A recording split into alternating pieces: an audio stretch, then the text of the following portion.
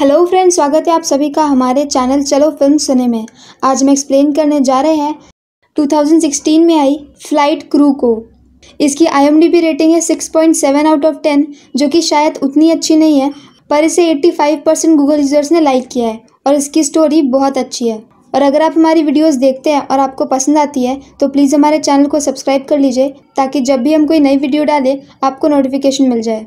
तो let's roll up the intro और चलो फ़िल्म सुने मूवी की स्टार्टिंग में हम व्यूअर्स मैकॉय को देखते हैं। मैकॉय एक आर्मी एयरफोर्स में होता है, जहाँ उसे एक कार्गो प्लेन को लेकर एक ऐसी जगह पर जाना था, जहाँ पर बहुत सारे पीड़ित और बच्चे थे, और इस प्लेन में उनके लिए बहुत सारा खाना और सामान था। अब जब वो लोग जा रहे होते हैं, तभी मैकॉय का सीनियर आता है और बोलता है कि तुम्हें अपने साथ दो नई गाड़ियाँ भी लेके जानी है। ये वहीं पर होने वाली एक शादी के लिए है, और इन्हें कुछ भी नहीं होना चाहिए। अब जब ये लोग प्लेन लेकर जाते हैं, तब बहुत ज़्यादा तेज़ तूफ़ान आने लगता है। और इनका प्लेन सही से उड़ नहीं रहा होता है, क्योंकि उसमें बहुत ज़्यादा सामान होता है। तो अब मैकॉय का सीनियर बोलता है कि हम वो लोगों के लिए खाना और बाकी सारा सामान उसे फेंक देते हैं, जबकि मैकॉय का कहना होता है कि हमें कार को फेंक देना चाहिए, पर इस पर उसका सीनियर नहीं मानता। तो अब मैकॉय अपनी पोजीशन छोड़ के बाहर जाता है और अपने कैप्टन की बात बिना माने वो वहाँ से कार को ही फेंकवा देता है, जिसकी वजह से उसे एयरफोर्स से निकाल दिया जाता है। असल में मैकॉय एक बहुत ही ज़िद्दी लड़का होता है, जो कि अपनी मर्ज़ी का मालिक होता है और वो सिचुएशन के हिसाब से बिल्कुल सही डिसीज़न लेता है। पर इस चक्कर में वो कई बार रूल तोड़ देता है और इसीलिए इससे पहले उसे आर्मी से भी निकाला जा चुका है। अब यहाँ से निकल कर वो अपने डैड के पास आता है। उसके डैड अपने टाइम पर एक बहुत बड़े पायलट थे। तो पहले तो वो मैकॉय को थोड़ा सा डांटते हैं, पर बाद में वो अपने सोर्सेज से बात करके मैकॉय की जॉब एक एयरलाइंस कंपनी में लगवा देते हैं एज अ पायलट मतलब अभी तक उसकी जॉब नहीं लगी होती है। उन्होंने बस टेस्ट तक के लिए उसका सिलेक्शन करवा लिया होता है। अब अगर वो टेस्ट में पास होता है तो उसकी जॉब लग जाएगी। तो अब नेक्स्ट सीन में मैकॉय उसी एग्ज़ाम के लिए जाता है, जहाँ पर उसके एग्जामिनर का नाम होता है लियोनेट लियोनेट एक बहुत ही स्ट्रिक्ट ऑफिसर होता है, जो कि हमेशा रूल्स को फॉलो करता है। अब वो टेस्ट लेने के लिए एक मशीन में बैठते हैं, जिसकी स्क्रीन पर आसमान जैसा इन्वायरमेंट प्रोजेक्ट हो रहा होता है। तो अंदर बैठे हुए लोगों को यही लगेगा कि वो लोग सच में किसी प्लेन में बैठे हैं। यहाँ पर मैकॉय अपने टेस्ट में बहुत ज़्यादा अच्छा कर रहा होता है। पर वो लियोनेट की कोई भी बात नहीं मान रहा होता। वो कहता है कि मैं अपनी मर्ज़ी से चलता हूँ। और ये सुनने के बाद लियोनेट जानबूझकर उसके लिए मुश्किलें बढ़ा देता है। और वो प्रॉब्लम इतनी ज़्यादा बढ़ा देता है कि एंड में मैकॉय अपने एग्ज़ाम में फ़ेल हो जाता है। और इसलिए उसे वहाँ से निकाल दिया जाता है। पर जब वो चला जाता है तो लियोनिड के कलीग्स उसे बोलते हैं कि तुमने उसे जैसी सिचुएशन में डाला था, वहाँ से तुम खुद भी निकल नहीं पाते। और वो बहुत अच्छा कर रहा था, पर तुमने जानबूझकर उसका एग्ज़ाम टफ कर दिया, क्योंकि तुम्हें पसंद नहीं है कि तुम्हारे सामने कोई और बोले। ये सुनने के बाद लियोनिड बोलता है कि ठीक है, वही सेम एटमोसफेयर मेरे लिए लगाओ, और मैं प्लेन को अच्छे से लैंड करके दिखाता हूँ। इसके बाद लियोनिड ट्राई भी करता है, पर उसका प्लेन भी क्रैश हो जाता है। दूसरी तरफ़ यहाँ से बाहर निकल कर मैकॉय को एक लड़की मिलती है। जिसका नाम होता है सेंड्रा। वो सेंड्रा की कार निकालने में उसकी हेल्प करता है और बाद में उसे स्टेशन तक जाने के लिए लिफ्ट माँगता है। जब वो लोग स्टेशन की तरफ़ जा रहे होते हैं, तभी रास्ते में मैकॉय को कॉल आता है और कॉल पे उसे पता चलता है कि उसे सिलेक्ट कर लिया गया है। पर वो अभी परमानेंट नहीं होता है। वो अभी एक ट्रेनी होता है और जिसको ट्रेनिंग देने का काम लियोनेट का होता है। तो अब नेक्स्ट सीन में हम मैकॉय को देखते हैं, जो कि पायलट के यूनिफॉर्म में होता है। और अब से उसका काम होता है कि जिस भी फ़्लाइट में लियोनेट जाएगा एज अ पायलट उसी फ़्लाइट में वो भी पायलट नंबर टू बन के जाएगा। और लियोनेट उसकी हर फ़्लाइट के बाद उसके लिए एक रिपोर्ट तैयार करेगा। और एंड में उसी रिपोर्ट के आधार पर उसका सिलेक्शन किया जाएगा परमानेंट पायलट के लिए। अब उनकी पहली उड़ान की बारी आती है। अब क्योंकि मैकॉय ने हमेशा से आर्मी के प्लेन उड़ाए हैं, इसलिए वो बहुत ही फास्ट उड़ाता है, जिससे कि वहाँ पर बैठे सारे पैसेंजर्स बहुत ज़्यादा डर जाते हैं। तो इस फ़्लाइट के बाद लियोनिड उसे डांटता है। वो बोलता है कि तुम कॉमन लोगों को प्लेन में लेकर जा रहे हो, किसी आर्मी वालों को नहीं। तो मैकॉय उसे सॉरी बोलता है। अब ऐसे ये लोग अपनी अगली फ़्लाइट में होते हैं, जहाँ पर उनके सामने बहुत तेज़ बादल होते हैं और आगे कुछ भी दिख नहीं रहा होता है। पर अचानक से मैकॉय को अपने आप ही सामने एक प्लेन नज़र आ जाता है और वो बिना किसी को कुछ बताए अचानक से अपने प्लेन को टर्न कर देता है, जिससे प्लेन का बैलेंस बिगड़ जाता है। अब क्योंकि सामने आने वाला प्लेन लियोनेट को नहीं दिख रहा था इसलिए उसे ऐसा लगता है कि एक बार फिर से मैकॉय ने बिना किसी को बताए अपनी मर्ज़ी से चलना पसंद किया और रूल्स तोड़ दिए। तो वो इस बात के लिए भी मैकॉय को बहुत डांटता है। पर जब वो लोग लैंड करते हैं तब कंट्रोल रूम का एक पायलट उन्हें बताता है कि सामने से एक दूसरा पायलट आ रहा था जिसने बिल्कुल भी ध्यान नहीं दिया। और अगर तुम इतनी जल्दी अपने प्लेन के डायरेक्शन चेंज नहीं करते तो, तुम दोनों का ही प्लेन आपस में लड़के क्रैश हो जाता। ये सुनने के बाद लियोनिड मैकॉय से थोड़ा सा इम्प्रेस हो जाता है। इसके बाद लियोनिड अपने घर आता है। घर पे उसका एक बेटा होता है। उसके बेटे का नाम होता है वैलोरा और उसकी अपने बेटे से बिल्कुल भी नहीं जमती। दूसरी तरफ़ मैकॉय लगातार ट्राई कर रहा होता है सेंड्रा को इम्प्रेस करने के लिए और फाइनली वो दोनों रिलेशनशिप में आ जाते हैं।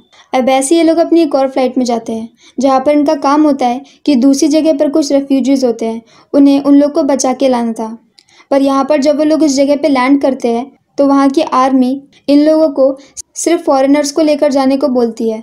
मतलब कि वो सारे रेफ्यूजीज़ जो वहीं पर रहते हैं, वो उन्हें वहाँ से लेकर नहीं जा सकते, जो कि बहुत गलत होता है। मैकॉय इसके खिलाफ होता है, पर लियोनेट उसे शांत करा देता है। अब जब वो लोग अपना प्लेन लेकर जा रहे होते हैं, तब वहीं के जो भी लोकल्स होते हैं, वो सब लोग उनके प्लेन के पीछे भाग रहे होते हैं और उनसे मदद मांग रहे होते हैं।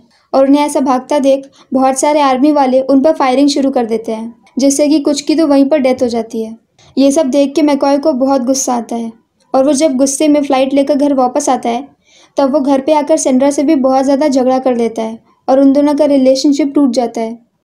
अब इसके बाद वो लोग अपनी नेक्स्ट फ़्लाइट में होते हैं, जहाँ पर उनकी फ़्लाइट में एक काफ़ी पावरफुल और फ़ेमस इंसान आता है और वो बोलता है कि उसे ब्रांडी चाहिए, पर क्योंकि फ़्लाइट टेक ऑफ़ करने वाली होती है तो उसे मना कर दिया जाता है। तो इस पर वो बदतमीज़ी शुरू करने लगता है और उसने हाथ में अपनी एक सिगरेट भी पकड़ी होती है तो उन्हीं का एक क्रू मेंबर एंड्रयू उसे सिगरेट बुझाने के लिए बोलता है, पर इस पर वो एंड्रू को ही पंच मार देता है। अब ये सारी बातें एयर हॉस्टेस आकर मैकॉय को बता देती है कि हमारे एक स्टाफ मेंबर को एक पैसेंजर ने पंच मार दिया है और ये सुनने के बाद मैकॉय को बहुत ज़्यादा गुस्सा आता है और वो बाहर आके झगड़ा शुरू कर देता है और बाकी बैठे पैसेंजर्स इस सब की वीडियो बना लेते हैं।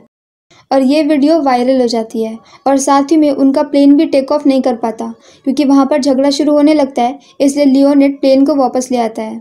अब ये सब होने के बाद मैकॉय ये जॉब भी छोड़ देता है। दूसरी तरफ़ लियोनेट का सीनियर लियोनेट के ऊपर बहुत ज़्यादा गुस्सा कर रहा होता है। पर इस पर लियोनेट बोलता है कि मैकॉय ने जो भी किया वो बिल्कुल सही था, और वो एक कमाल का पायलट है। हम लोग भले ही रूल्स पे चलते हो, पर वो अपने दिमाग से चलता है और हमेशा सही डिसीज़न लेता है। इसके बाद उसका सीनियर बोलता है कि हमारे प्लेन को प्राइवेटली हायर किया गया है और तुम्हें दो पायलट के साथ वहाँ पर जाना है और ये पूरे एक मंथ की ट्रिप होगी। तो लियोनिट बोलता है कि मैं मैकॉय के बिना नहीं जाऊँगा। इसलिए अब मजबूरी में उनकी कंपनी को एक बार फिर मैकॉय को हायर करना पड़ता है। अब उनकी इस ट्रिप पर जाने वाली टीम में मैकॉय होता है सेंड्रा होती है लियोनिड होता है और एंड्री होता है और साथ में कुछ एयर हॉस्टेस होती हैं। यहाँ पर लियोनिड अपने बेटे वैलेरा को भी साथ में लेकर जाता है। उसे ऐसा लगता है कि अगर वो थोड़ा टाइम अपने बेटे के साथ स्पेंड करेगा तो ऐसा हो सकता है कि उनका रिलेशन थोड़ा सुधर जाए। अब जब वो लोग अपने प्लेन से जा रहे होते हैं, तभी उन्हें एक न्यूज़ मिलती है कि उनके पास में ही एक आइलैंड है, जहाँ पर एक बहुत बड़ा ज्वालामुखी है और वहाँ पर अर्थक्वैक आने वाला है और उस जगह पर बहुत सारे लोग फंसे हुए हैं और थोड़ी ही देर में वहाँ का ज्वालामुखी भी फट सकता है। तो अब उन्हें कंट्रोल रूम से बोला जाता है कि ये तुम पर डिपेंड करता है कि तुम वहाँ जाकर हेल्प करना चाहते हो या नहीं।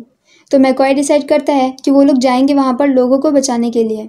तो अब इनका प्लेन उसी आइलैंड पे लैंड करता है, जहाँ की हालत बहुत ज़्यादा बुरी होती है। यहाँ पर बहुत सारे लोग होते हैं जिनकी डेथ हो चुकी होती है और बहुत सारे लोग बहुत ज़्यादा घबराए होते हैं।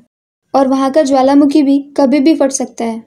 तो यहाँ पर लैंड करने के बाद मैकॉय यहाँ के कंट्रोल रूम में देखने जाता है। अब जब वो कंट्रोल रूम में होता है, तभी वहाँ पे अचानक से अर्थक्वैक आने लगता है, जिससे कि वो पूरा कंट्रोल रूम टूटने लगता है। तो मैकॉय वहाँ से कुछ लोग को निकालता है।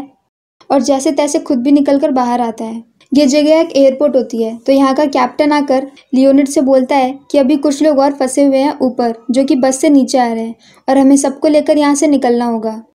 पर अर्थक्वैक आने की वजह से वहाँ पर लैंडस्लाइड हो जाता है तो बीच का रास्ता बंद हो जाता है। तो मतलब कि अब जो भी लोग बस से आ रहे होते हैं, वो पीछे ही फंस जाते हैं। तो मैकॉय बोलता है कि वो जाएगा और उन लोगों को लेकर आएगा। अब मैकॉय के साथ वैलेरा और एंड्रयू भी उसके साथ में जाते हैं, उसकी मदद करने के लिए।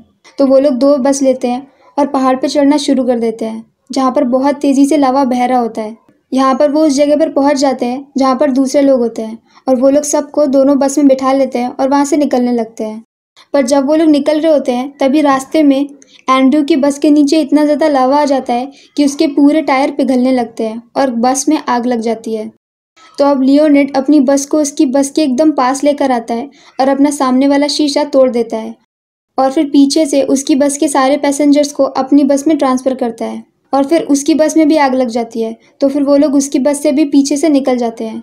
और अब दोनों ही बस बर्बाद हो चुकी होती हैं तो वो लोग डिसाइड करते हैं कि वो लोग पीछे वाले रास्ते से घूम कर पैदल पैदल जाएँगे और एयरपोर्ट तक पहुँचेंगे। दूसरी तरफ़, ये जो एयरपोर्ट होता है, ये एक बहुत बड़े से ज्वालामुखी वाले पहाड़ के एकदम नीचे बना होता है। तो ऊपर से ज्वालामुखी का लावा बहते बहते नीचे आ रहा होता है और सारी चीज़ें बर्बाद हो रही होती है। यहाँ पर उनके पास दो रनवे होते हैं। एक रनवे टूटा होता है। तो अब वो टूट इतना छोटा हो गया होता है कि वहाँ से एक बड़ा सा प्लेन टेक ऑफ़ नहीं कर सकता। और दूसरे वाले रनवे पे पूरी आग लगी होती है। यहाँ पर कोई और पायलट एक दूसरे प्लेन को उड़ाने की कोशिश करता है और वो उसे उसी टूटे वाले रनवे से लेकर जाता है। पर वो प्लेन पूरा ब्लास्ट हो जाता है और उस प्लेन के अंदर जितने भी लोग बैठे होते हैं, उन सब की डेथ हो जाती है। तो अब लियोनिड वहाँ पर देखता है कि वहाँ पर एक छोटा सा कार्गो प्लेन है, जो कि उस टूटे हुए रनवे के ऊपर से होकर जा सकता है। तो लियोनिड सबको उसी कार्गो प्लेन के ऊपर बिठा देता है और अब वो इंतज़ार कर रहा होता है मैकॉय अपने बेटे उन सभी लोगों का पर जब वो देखता है कि वहाँ से कोई भी नहीं आ रहा है और ऊपर से तेज़ी से लावा नीचे बहता हुआ आ रहा है तो वो लोग ऐसा मान लेते हैं कि ऐसा हो सकता है कि ऊपर उनकी बस का भी एक्सीडेंट हो गया हो। और अब इतने सारे लोगों को बचाने के लिए मजबूरी में लियोनिट को अपने बेटे को वहीं पर छोड़ना पड़ता है और वो छोटा वाला कार्गो प्लेन लेकर वहाँ से निकल जाता है। दूसरी तरफ़ मैकॉय और बाकी सारे पैसेंजर्स जैसे तैसे भागकर एयरपोर्ट तक पहुँच जाते हैं, जहाँ पर वो देखते हैं कि सब लोग जा चुके हैं और उनके अलावा वहाँ पर अब कोई भी नहीं है। तो वो लोग जल्दी से उस प्लेन में बैठते हैं, जिस प्लेन से वो लोग इस आइलैंड पे आए थे। और अब मैकॉय देखता है कि वो रनवे जिस पे आग लगी थी, वहाँ पर एक बहुत बड़ी पानी की टंकी थी।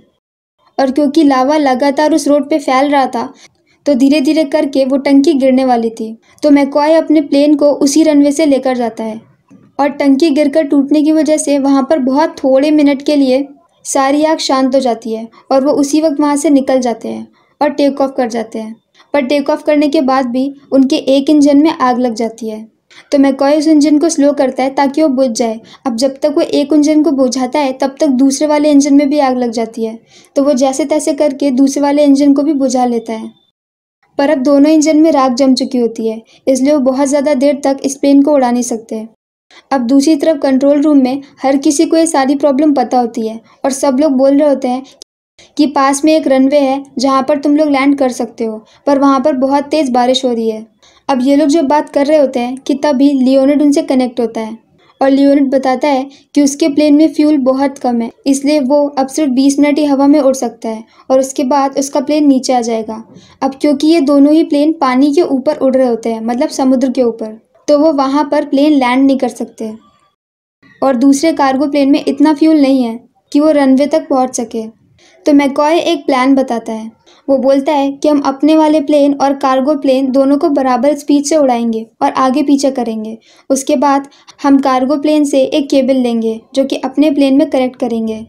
और फिर दरवाज़ा खोलकर वहाँ से सारे लोगों को उस रोप के थ्रू दूसरे प्लेन में ट्रांसफ़र करेंगे। अब कंट्रोल रूम में बहुत सारे लोग इसके लिए मानते नहीं हैं, क्योंकि ये बहुत ज़्यादा रिस्की होता है। यहाँ पर आधे लोग होते हैं जो मैकॉय के सपोर्ट में होते हैं और आधे लोग होते हैं जो मैकॉय का सपोर्ट नहीं कर रहे होते हैं। पर अब उनके पास और कोई रास्ता नहीं होता। तो वो लोग ऐसा ही करने का प्लान करते हैं।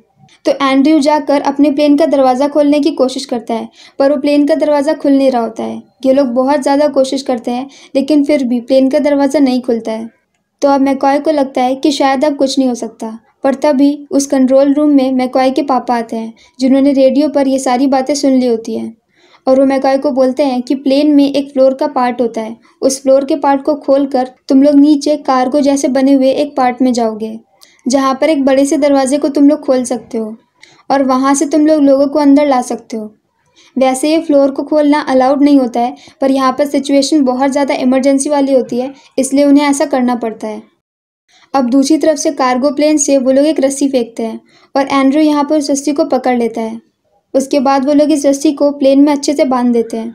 और फिर कार्गो वाले प्लेन से एक बड़ा सा जाल बनाया जाता है। उस जाल के अंदर बहुत सारे लोगों को एक साथ बिठा दिया जाता है और फिर रोप से उन्हें दूसरी तरफ़ भेजने लगते हैं।